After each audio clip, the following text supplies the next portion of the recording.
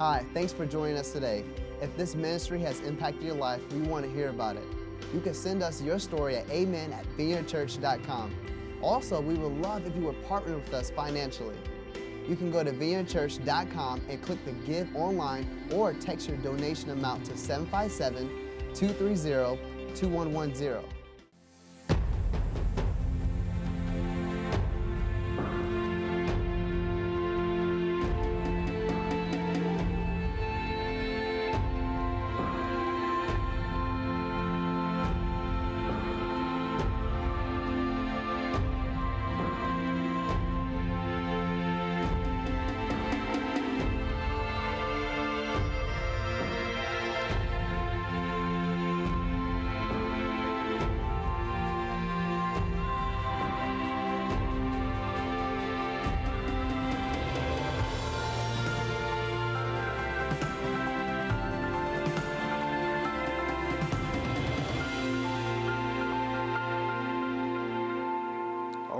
Right. It's so great to see everybody here this morning. How are you doing this morning?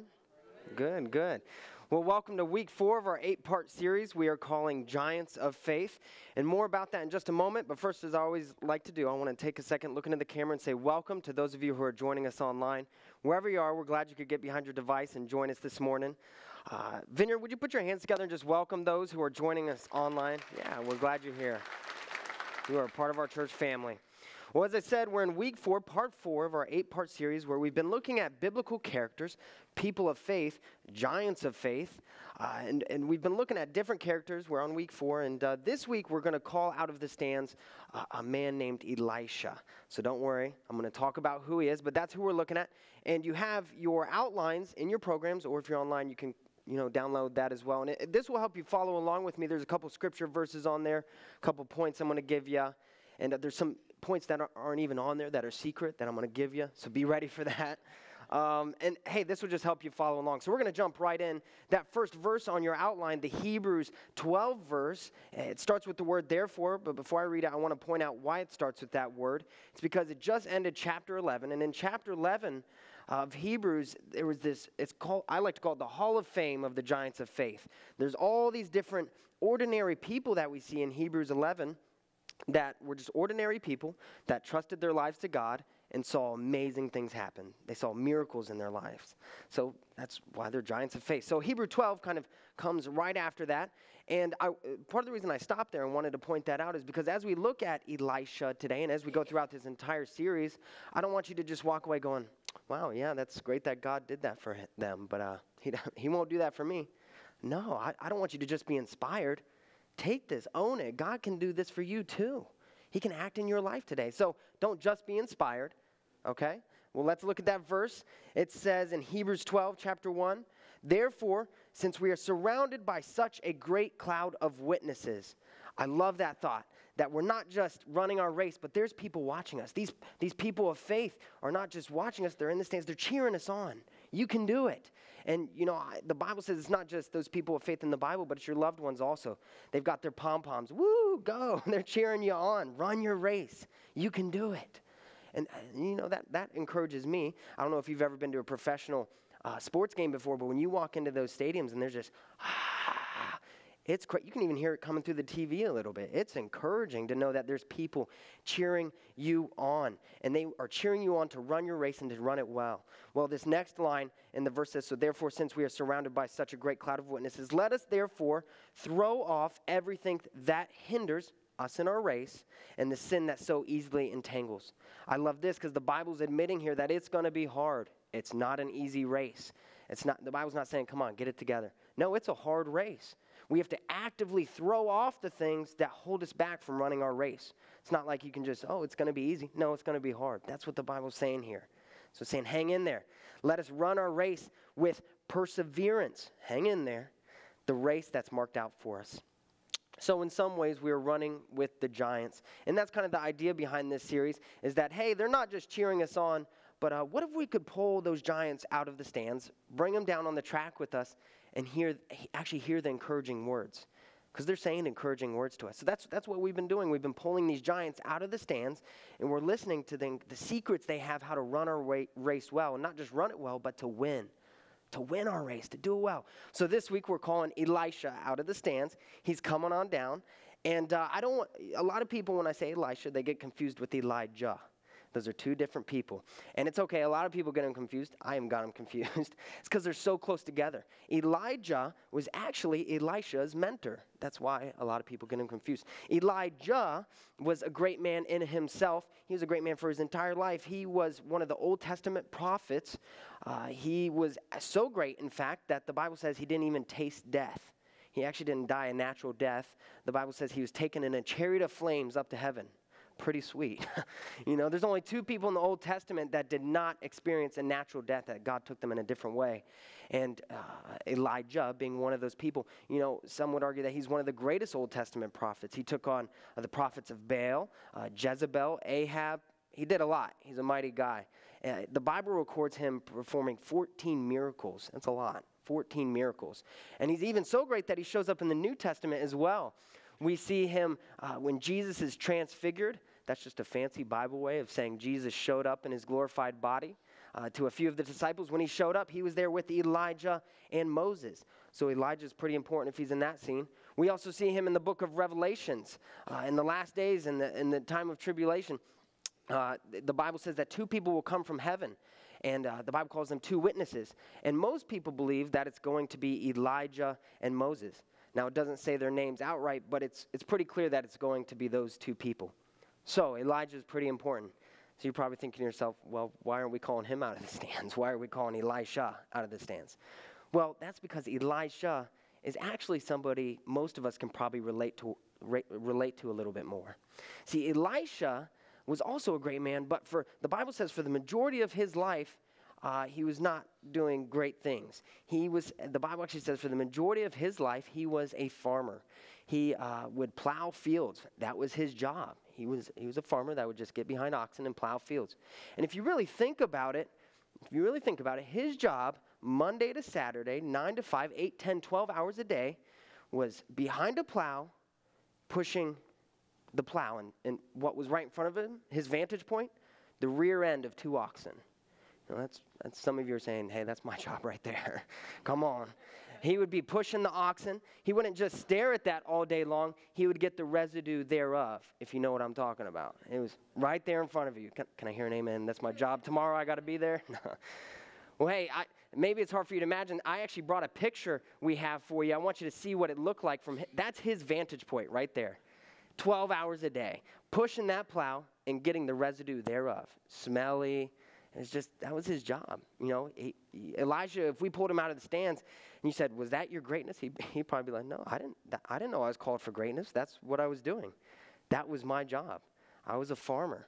You know, and so Elisha, for most of his life, he was in this place where uh, he was dealing with this question uh, that m- most of us hate, and that's the question of uh, when. It's waiting. God, when am I going to do something? When, God?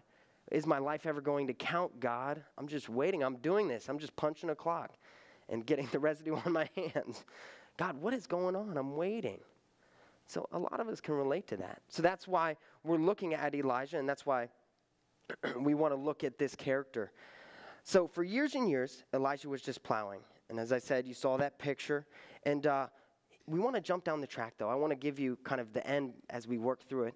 At the end, Elijah ends up performing 28 miracles.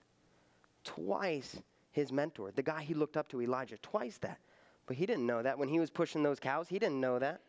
And I say this because most of us view ourselves as the cow pushers. And hey, I, I want to pass you for a moment. Look me in the eyes. This is important. You can't define yourself by that. It's important. You know, a lot of us see us as that's us. Hey, I'm just there, nine to five, I punch my clock. What I do doesn't count. What I do doesn't matter. That's me. No, you're looking at yourselves the wrong way. God's called you to greatness. That's what Elisha would say. If we could bring him out of the stands, God's called you to greatness. He really has. And it's important to never forget that. So it does beg the question, though how do we get from the cow pusher, the oxen, behind the oxen, to this greatness that Elisha is talking about? Well, I want to give you his secret. His secret, he would say to us, is uh, for when you wonder if your life counts, whatever you're doing, give your best wherever God puts you. And that's your point on your outline is give your best wherever God puts you. Wherever you are, give your best, whether that's behind oxen, whether that's doing something monotonous or mundane, something that's not so fun, something that seems small is maybe smelly. you know, it's I don't enjoy doing. Hey, give your best though. And this is why. Because God's watching. God's watching. When you think nobody's watching, God's watching. And you got to remember that. He's watching. And that's why we're pulling these giants out of the stands, is because they're really giving us words of encouragement, but they're also telling us how God works. And this is important because if you don't understand how God works, you will never get along with God. You got to understand how God works. He's watching you. He's watching you. You know, and it's important, like Elisha would say, He's watching you before you become great. Why? Because He's watching your potential to be great. You know, a lot of times we'll quote, people will quote that verse, hey, God will give you, never give you more than you can handle. And yes, that verse does talk about temptations and things that lead us astray. But, he, you know, God is also, he'll never give you more greatness than you can handle. Why would he give you more than you can handle? So it's important to give your best wherever you are. He's watching and never forget that. So I want to give you three areas out of Elisha's life where we where he gave his best and where we are to give our best. So if you're taking notes, here's your first one. The first one is wherever you are, give your best in obscurity because God will reward it. God will reward it. Do you know what obscurity means? That means when you think nobody is watching, not even God. You're just in that place where nobody sees you and nobody knows you're there. Well, I want to look at his story. Uh, we're going to look at 1 Kings chapter 19, verse 19. So Elijah, remember, not Elisha, Elijah, the mentor, went and found Elisha. Now, this is actually the first time they met. Elisha admired this guy, but from afar. And all of a sudden, he shows up on the scene. Well, Elisha was plowing his field, and there were 12 teams of oxen in the field, and Elisha was plowing with the 12th team. And I gave you a picture a moment ago of what that looked like. So Elijah went over to him and he threw his cloak. Now, in those days, this was a sign of, hey, I'm throwing my cloak on you. That means come work for me. Come apprentice with me. Come sign this contract. You're with me. We're doing this. So he threw his cloak on him, and it was like a covering. So he threw his cloak across his shoulders, but check this out. So he threw his cloak on his shoulders, but then he just walked away. That's how that verse ends. He walked away. And the Bible says for 10 years, nothing happened. It's a long time 10 years. You know, when I think about this, I know, I know a lot of people feel this way. Hey, I know God's called me to do something, but I'm waiting. When is it actually going to happen? I know deep down God's, He has something for me to do, but I, I don't think it's happened yet. You know, I'm still waiting. I'm still waiting on God. You know, a lot of you don't know uh, this, you know, this part of the vineyard story, but uh, and I've been around for quite some time. I've been a part of Vineyard for quite some time. And back in the beginning, we actually didn't meet in this building. We actually started, the church started in Pastor Andy and Sharon's home in their basement. And uh, it, was, it was a small little thing. We would, I remember them setting up chairs, metal chairs, just all throughout the house. You know, the coffee team was Pastor Sharon. She'd bring out all her coffee mugs and put them out, you know, and spend hours cleaning the coffee pots. You know, the worship was the acoustic guitar Pastor Andy owned and people clapping their hands. that was it. That was it. And we'd do that every Sunday. And then we went to an elementary school. Uh, we were in Bayside Middle School for a year. Then we went to um, Pembroke Elementary School. And we, I remember getting up at 5 a.m. every Sunday with Pastor Andy. And we'd go and we'd just spend hours setting up. You know, the chairs are all here now. But when we were in that school, we were a portable church. We had to set up every weekend. Talk about persevering through obscurity. That, that's what it felt like. And I remember a lot during that time, you know, going, I, I remember watching Pastor Andy and Sharon just, it felt like they were sacrificing a lot. And I felt like we weren't getting the return we deserved, you know. And I remember talking to Pastor Sharon, oh, seriously though, I remember talking to Pastor Sharon and saying, what, what, why are we doing this if we're not, we're not seeing the fruits of our labor like I think we should? And, and Pastor Sharon would tell me over and over again, hey, I do it because I know God's watching me. This is what God's called me to do, and I'm going to do it to the best of my ability. Samuel, my reward is in heaven. It's not here, it's in heaven. You know, I remember her saying that to me the first time. I was like, that doesn't make sense. That does not make sense to me. But she would, hey, she was consistent. I would ask her a lot, and she would keep repeating that over and over again. And I had to, there was a point in my life where I had to wrestle with that myself. I had to have an attitude change. Hey, if I've been called to plow this, I'm going to plow it the best I can. And it's crazy when God, when your attitude shifts like that, God's like, okay, your attitude's ready. And thus the vineyard story. Um, but, you know, Elisha got this too. it's an attitude change. We need to see that, hey, God's called me to do this, so I'm going to do it the best I can. You know, this truth is in the New Testament uh, as well. Jesus talks about it all throughout the New Testament, but especially on the Sermon on the Mount. In Matthew chapter 6, when Jesus said, Your Father who sees what is done in, say it out loud with me, secret, secret will reward you. And he actually gave three examples in the same passage of uh, Matthew chapter 6. He talks about prayer. He says, hey, if your, uh, you know, if your gift is prayer, don't be going, hey, in Samuel's name and then Jesus' name, amen, I'm good at prayer. No, don't do that. He's saying, don't be that guy. You know, when he talks about fasting, don't go into church with your cheeks sucked in. Yeah, I'm fasting. You can tell, right? no, he says, don't do that. Don't be that person. He talks about giving. You know, don't when the when the bag comes by, whoop, Putching, get you some of that. No, he, he don't do that. Don't be that guy. Why? Because he says, find your recognition in me. I will promote you. I reward you. Not, not other people. It's you find your purpose and your recognition in me. And that's important. That's why Jesus talks about that. And so the second thing Elisha would say is that you are to give your best in small things, and God will give you bigger things to do. See, the 28 miracles were those bigger things, but first he did the small things. And you need to know that God cares about the details. He really does. You know, I was fortunate to learn this early in life. You know, if you've ever met our uh, kids' pastor, Pastor Heather, man, she is the queen of appreciation. Just being in her presence, I, I feel honored, you know. I remember the first time my wife Olivia and I served with her. We served at some event, and then that same night when we got home, we opened the mailbox, and there was a thank you card in there, stamped and everything. I was like, what? How'd she do that? you know, but hey, and she taught me that it's those little things that count. They really do. And you know, I actually uh, did this. You know, we had a Mid Atlantic conference here. We, we had a hundred some dream teamers take off vacation that week, and we hosted a conference here. Had tons of our church family from our region come and visit. And uh, at the end of that week, it was almost a full week. At the end of that week, the first thing I did was I took uh, Pastor Heather's advice and I wrote thank you cards to everybody. My hand was like cramping, didn't see the purpose of it, but, but I still did it. You know, I took the time, wrote those cards, and, you know, I sent them off. And in the back of my head, you know, I was like, you know, they're just going to read it and throw it away. That's, that's what most people do. They're just going to read it and throw, oh, that's nice, trash. You know, they're going to throw it away. But boy, did God change my perspective on that. The next week, I had over a dozen people come up to me and just tell me how much that card meant to them. And when they opened it, just, wow, I was seen, I was recognized. I had one guy come up to me who I don't think he had ever smiled in his life, but this is the first time I had ever seen him smile. I said, Thank you. I was like, wow. I had another woman come up to me, she was crying. And I was like, it was just a thank you card. But she's like, no, you don't know this, but I actually had a miscarriage a couple months ago. And serving with you guys, and then you recognizing me for it, reminded me that God still has a purpose for me. Mm. Boy, did God show me that day that the little things, He works through the little things. They're so important.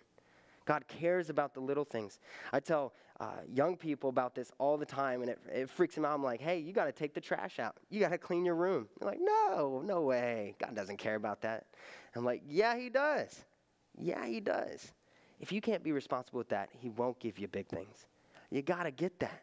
You got to get that. And God cares about the littlest details of your life. Jesus makes this point too in the New Testament. In Luke chapter 16, he says, Whoever can be trusted with, say it out loud with me, with very little can also be trusted with much. God will trust us a whole lot more, but if you can't handle the little things first, He's not going to give you more. Just plain and simple, that's how it is.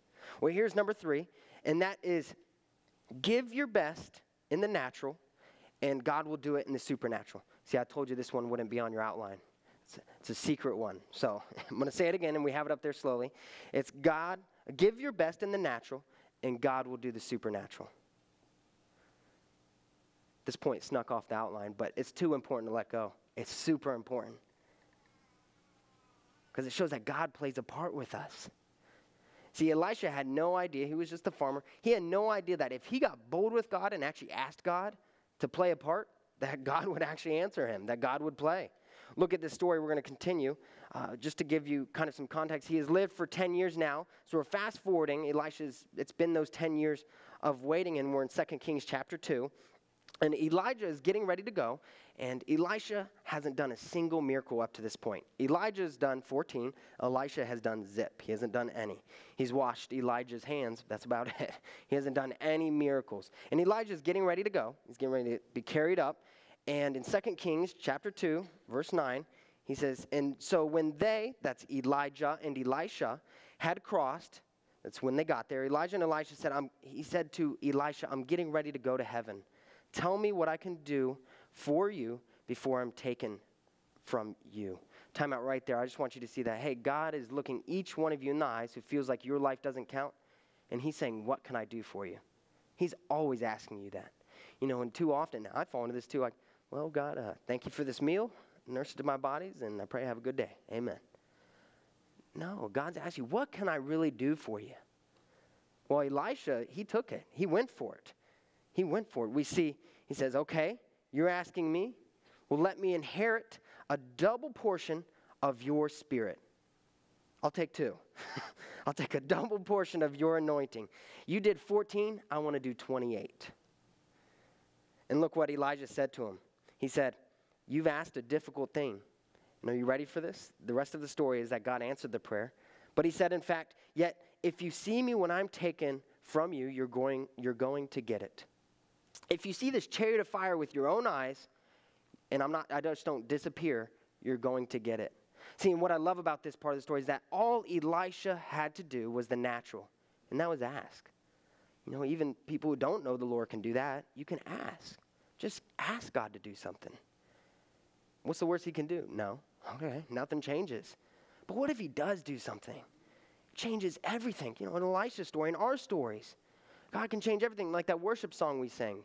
It's Jesus who changes everything. All we've got to do is call on him. All we've got to do is ask. Jesus can change everything. You know, I was so inspired when I was writing this message. I actually closed my laptop, slid it to the side, said, You know, God, I'm going to stop insulting you with the small, you know, prayer requests. That's my conversation time with you. I like that. But I want to ask you for big things too. I don't want to insult you with my small mind. Let me, let me get some big things. So I got my pen and paper, and I said, Okay, we have 218 people on our dream team who, who are serving. I, I want, God, can we have 500? God, we've planted seven churches uh, since we started. God, I want to plant 20 churches. God, we have small groups in Virginia Beach, Chesapeake, and uh, Norfolk. God, I want a small group in every city in Hampton Roads. You know, I might not even be alive to see that happen. But why not ask? Why not ask? God's a big God, He's a powerful God and He does the supernatural. All we have to do is the natural. And that's just ask. You know, Jesus talks about this too. He said in John 14, Whoever believes in me will do the works that I have been doing. Really? No, actually, it goes on to say, You will do even greater things. How in the world is that going to happen? How are we going to do greater things than Jesus? He did amazing things. Well, he says, Ask me. Because I am going to the Father. You may ask me for anything in my name, and I will do it. How about that? we just got to ask God. What if we started doing that with our families, with our job, with school? Just ask God, hey, God, can you help me out? I've, this is, maybe I see the small end of it, but God, can you bring the big end in? Can you help? Do something supernatural, God. I'm just asking. I think it would change a lot in our lives if people asked more often. They ask God to play with them. Hey, God, help, please. I need you. I can only do the natural, you do the supernatural. You know, so Elisha, he's coming out of the stands. This is what he's saying to us. He's, he's telling you, hey, you know, I was a farmer for 10 years. I never knew that uh, if I knew God, you know, I knew God was watching me in my obscure place. I knew that the small things mattered because he wouldn't give me big things until I did that. And that God, he's the one who does the supernatural change. I just got to ask. I just had to step out in faith that that would change everything. That's his story. Well, we're kind of rounding the track now. If you're hanging with my illustration, just jogging, you know. And Elisha, he's come out of the stands. He's running. He's lapped me like four times, but he's still. He's like, hey, I got to get ready to go. But here's these last few encouraging words I want to give you. So I told you to give your best in all those circumstances. But here's some encouraging words I want to give you before I go. And I want to look at these encouraging words in the context of one of my favorite stories of Elisha. He did 28 miracles. He has a lot of stories. So, but one of my favorite ones, I want to look at that story and then pull the encouraging words out of that. So, I'm going to give you your first encouraging word, though, and then we're going to jump into the story. Your first encouraging word from Elisha is learn how to cultivate the presence of God in your life. Learn how to cultivate the presence of God in your life. Learn how to get close to God. Because when you're close to God, He will speak to you. And that hinges on your relationship with God, obviously. But it's important. You have to have that relationship. And Elisha's 28 miracles, this one is my favorite one. Uh, the context of the story is hey, there's uh, th- three kings taking on one king. It's the king of Israel, the king of Judah, and the king of Edom taking on the king of Moab. They're, they're saying, hey, we're going to go take this guy on. So the, the story kind of goes on in their battle. And they, there's a point, though, in the story where those three kings run out of water their whole army, and that's water's important. You can only go like three days without water. But they're out of water, and things are not looking good. Animals are dying left and right.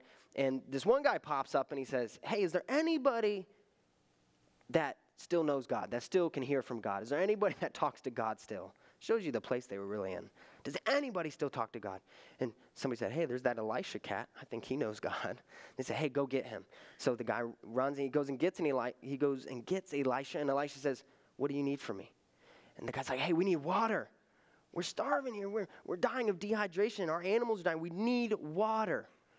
And I love how Elisha responds. Let's look at it. They come up to him, they run up to him and say, We need water. And Elisha says in 2 Kings 3:15, But now bring me a harpist. No, we need water. Thanks for the music, but we need water. Elisha says, No, I need background music. I need worship music. What is that all about? Well, the verse goes on to say, And while the harpist was playing, the hand of the Lord came upon Elisha. So, what does that mean? Well, I'll tell you what. Elisha knew that he had no hope for them unless he first got close to God, unless he first could talk to God. And he knew he needed worship to do that. He needed worship to come into the presence of God. And this, this whole biblical truth is way deeper than I have time to talk about. But here's what I want you to understand that when you worship, God will speak to you. You need to understand that. When you worship, God talks to you, He listens to you, He knows your heart. And that's how we come into the presence of God. And that's what Elisha knew, that that's where it started. We can see this truth in the New Testament as well, uh, because we had similar, if you look at it, similar people who just plowed oxen. They were fishermen and they were tax collectors. And Jesus called them out, said, Come, come hang with me, do ministry with me. And uh, something changed in Acts chapter 4, 4, verse 13. We see when they saw the courage of Peter and John, the disciples, and realized that they were just nobodies, or they supposed, they were unschooled and ordinary men, but there was one distinguishing feature. Look at this. It was that these men had been with Jesus. Let me tell you what will set you apart from everybody else, and that's spending time with God. Spending time with God people see you different. You know, the Bible talks about being the salt and the light of the earth. Well, where do we get that from? From Jesus, from spending time with God. It's that we're not actually the salt; it's the Jesus in us that's the salt and the light. And you don't have that unless you spend time with Him. Spend time in His presence. You know, every great dream that we have that God puts inside of us only comes if we spend time with God. You know, I actually took a trip a few years ago with a buddy of mine to California. We were just uh, younger guys. I'm a young guy, but we were younger guys. And we were kind of just roughing it out there, uh, just uh, living in different places. And he, had, he has quite a bit of family out there, so we were living in different houses. And one of his uncles we lived with for the majority of the time was actually a pastor out there. And so we went to his church a couple times, and uh, they had a basketball ministry they did. It's a pretty big church. And so, you know, me being my five foot six self, thought, yeah, I'd be good at that. I'm good at sports, you know. so I was like, let's go, let's go. So we went and we played basketball, and it was a lot of fun. We actually saw some pre- professional people there, uh, just because of where it was located. It was very cool. But in that, even with these, you know, these big name people, they still made prayer an important part of the ministry. It was very cool. Instead of doing like pregame huddles, they would do pre-prayer huddles. So before you played, if you wanted to play, it was kind of pickup games. You couldn't play though unless you got in this pregame huddle. And hey, even non Christians respected that. It was very cool. And so, wh- and while we were praying, they actually called on me. You know, that's how they do it, calling the new guy. I showed up and say, hey, can you lead us in prayer before we play? And, uh, and while I was praying, I, I, I heard God say, bring this back, bring this home, bring this home. And so that's exactly what my buddy and I did. When we got back to Virginia Beach, we started it here. We actually played basketball right out on that uh, asphalt out there. It was blazing hot, but we, had fun. And it was so cool, though. You know, I, I just wanted to play basketball with a couple of my church friends, but the people God drew in through that ministry, it was crazy. And this isn't like a reverse humility thing, like, oh, wow, look what I did. No, it's, hey, God took my dreams further than I could ever imagine. I just let Him play a part in it. I let Him direct my steps. I said, hey, I'm just going to do this thing where I play basketball out front and just invite people. You're in charge of everything else. And that's exactly what happened. You know, there are actually some people in our church today still because of that. They've come to know Jesus. When I was praying, playing, I didn't, I didn't see, foresee that. God saw that though. Hey, just let me be a part of your dream. Let me take it further. That's important. See, but where did it all begin? In the presence of God. When I was praying, when I was praying to God, He said, Hey, do this. Have you thought about doing this? You know, that's where all of, you know, you saw that small group video about the wakeboarding. Uh, we have surfing groups, wakeboarding groups, all that's, you know, those guys who go golfing and are terrible at it. you know, all of that was birthed out of, though, hey, what do you have a passion for? Have you thought about including Jesus in that? It's surprising. It's, it still blows my mind how many times people go, no, I, God can be a part of that? Yeah. Bible studies are great, but let's let God be a part of so much more.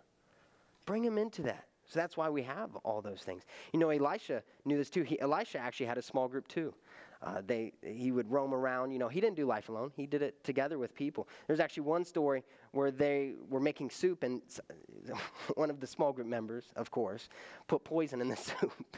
and, you know, they actually didn't, they should have killed him. But long story short, they ended up not dying uh, because Elisha prayed over them, and he was, uh, he was a mighty man. So, your small group might kill you, but it might save you. Moral of that story. No, I'm just kidding. Hey, but it's important that to bring God into every area of our life. That's why we do small groups is hey, we're encouraging God to be a part of our relationships too. We want him in every area of our life, not just limited to the book on my bookshelf. No, he's a part of my relationships as well. And that's very important. And Elisha recognized this. So it all begins in the presence of God, though. That's where the harp is. So staying with the story, he brought out the harpist, and Elisha would say, here's his uh, uh, next encouraging word to us, his second one, is that dreams are fine, Samuel, but at some point, you got to wake up from that dream and do something. You got to do something. You can't just dream. Some of you are like, well, I've, I've got a big dream, what, but I don't know what to do about it. I'm waiting on God. Well, short story, he's waiting on you. you know, he's called you to do something. You know, as we mentioned the status update, today's step two of Growth Track. All Growth Track is, is you uh, partnering with us to walk your spiritual journey. And it ends, it culminates in step four where uh, those people go through Growth Track join the 200 other Dream Teamers and getting on stage, you know, playing the drums in the sound booth, serving coffee, greeting people as they come in. And, and they're not just doing it because it's fun. It is fun, but they're also making an eternal difference in people's lives. And, you know, you go, I challenge you, go up to any one of them and ask them, you know, what's so special about them being on the Dream Team. And they'll tell you, hey, when I went from worshiping one to worshiping one and serving one, my Christianity came alive something changed. You know, it was a step for me. My Christianity is just, my relationship went to a new level. And Elisha understood this. And Jesus also talked about this uh, in the New in the New Testament, as well as we see in other books as well. In James 2:17, it says that faith by itself, that's your belief in God by itself, if it is not accompanied by, say it out loud with me, action. Action, good. It's dead. It's dead faith. It needs action. You know, I have people come up to me saying, My Christian life's pretty dead right now. What, what can I do to revitalize it? I say, Do anything, do something, get in the game. Action. That's where the lifeblood of faith is. It's in action. It's in action. Which brings me to my third point. And I'm going to give you the verse first, and then I'm going to, um, well, I want to give you these, uh, I'm going to give you the verse first, and then I'm going to give you the point. So the verse, this is 2 Kings chapter 3, still same, same story, but this is kind of the end of the story. Uh, after he's been in the worship, been in the presence of God, and he's realized, okay, we got to do something. Uh, we got to do something. He says, For this is what the Lord says.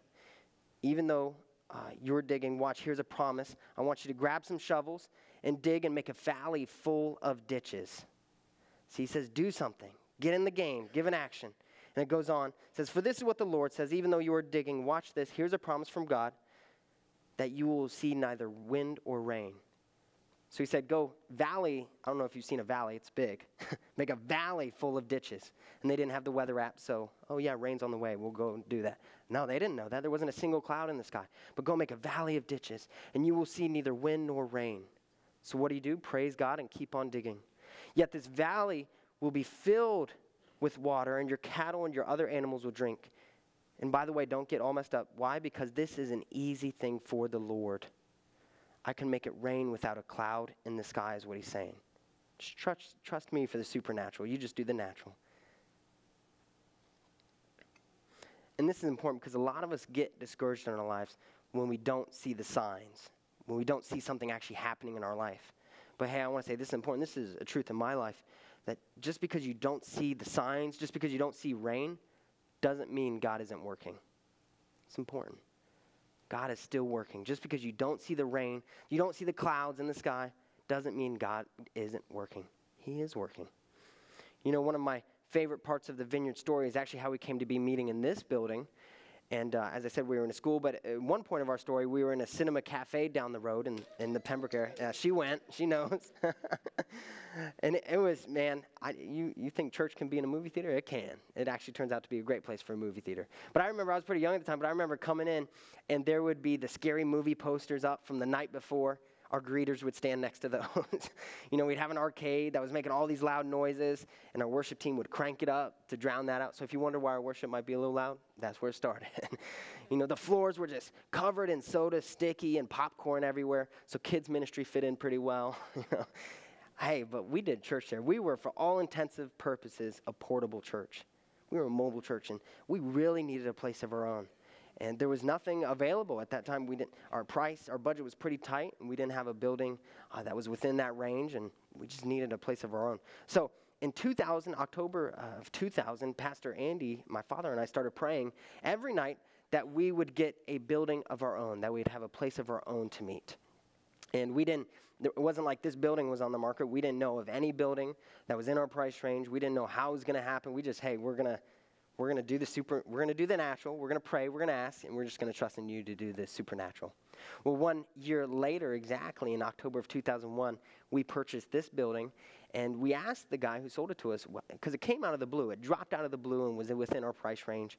And we asked him, hey, what, when did you decide to sell this building?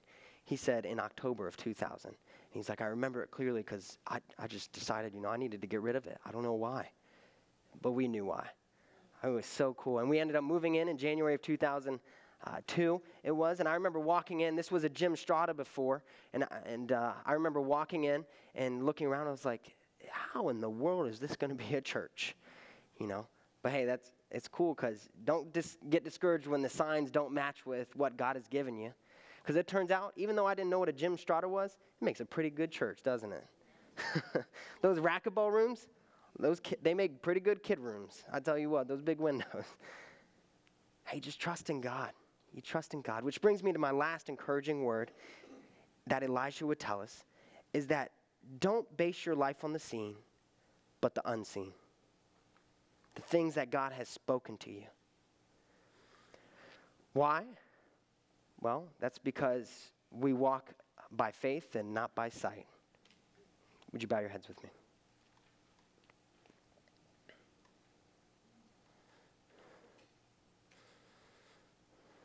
Yes, Father. Come, Holy Spirit.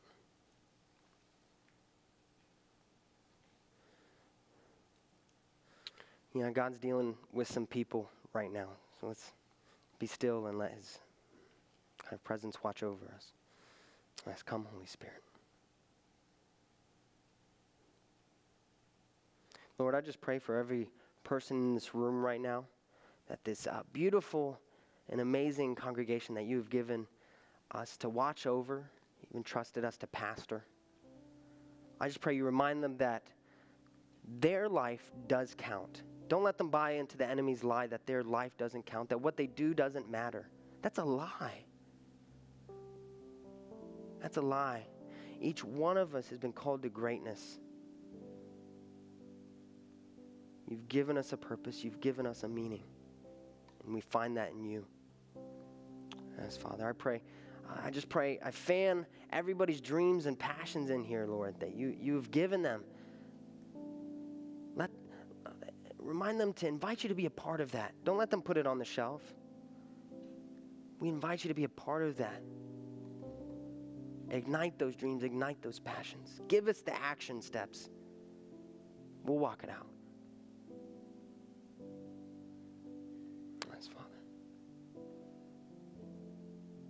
And God's knocking on your heart. For some of you, you feel this thing in your chest. God's that God, that's God. He's stirring you right now. He's saying, "Hey, come to me. Trust me." You know, some of you might even be Christian, and God's saying, "Come back to me." God's knocking on your heart.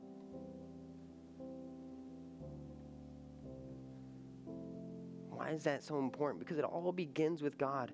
That's why he's knocking. He's like, hey, it starts with me, a relationship with me. I describe my faith with Christ as one word, and that's surrender. And that's because my relationship, I've just given him everything. I've given him my life, given him everything.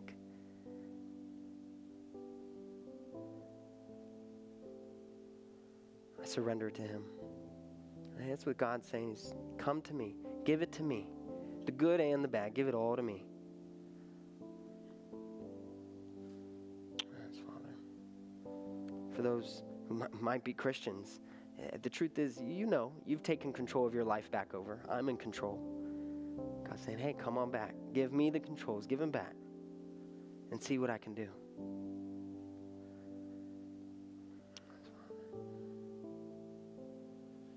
God's knocking on your heart. You might feel that guilt and the shame from the past. Well, that's because we were looking at the Bible, and the Bible says that the word uh, cuts like a sword down to the bone. That's the Holy Spirit. He's cutting in your heart. Let me be a part of it. Surrender it to me. And if God, that's if that's you, if God's knocking on your heart, I want you to respond. He wants you to respond to Him. I'm not going to make you stand up or run down front. No, I want to pray with you right there in your seat. I want to pray with you right there. I feel like Samuel, that, that's me. That's I want to pray that prayer. Would you just slip your hand up right now? Yes, Father. Praise God. Praise God. Mm, God's watching we take a step, we're bold in Christ. That's Father. Praise God. Yeah, I see that. Well, you can put your hands down. And would you just pray with me? Say, Jesus, thank you. Forgive me for being in control of my life. I surrender it to you. Everything. I give you the controls, and I trust in you. I love you, Jesus. In your name I pray. And, and Father, I just pray for everybody who prayed that prayer. I pray that you seal it on their hearts, that this day their relationship with you will be forever changed, that they are growing in you each and every day, that they learn to trust in you and cling to you when it gets hard. Yes, Father, I hear that. When they cling to you, you are a rock we hold on to, a rock in the wilderness. You are an eternal source of water. Yes, Father, I seal those prayers, and for your honor and your glory, we pray in Jesus' name. Amen. Thanks for tuning in to today's message. If God is impacting your life through this ministry, join us in reaching others by investing today. You can give by texting your donation amount to 757-230-2110 or by going to vineyardchurch.com slash give. Also, don't forget to subscribe to our channel so that you never miss an update. We'll see you next week.